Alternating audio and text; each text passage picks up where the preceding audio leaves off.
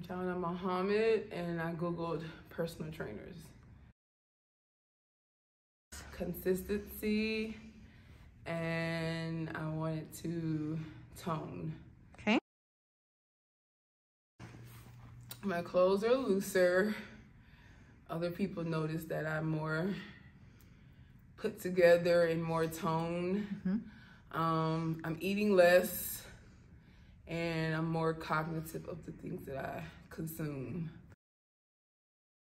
It's been rough, but we've been getting through it. It's been great. uh, Okay. It pushes me, it pushes me to the max. Okay. So And- it's, good. Um, the 101. Mhm. And you checking me every time I send a meal and making sure I'm eating what I'm supposed to be eating.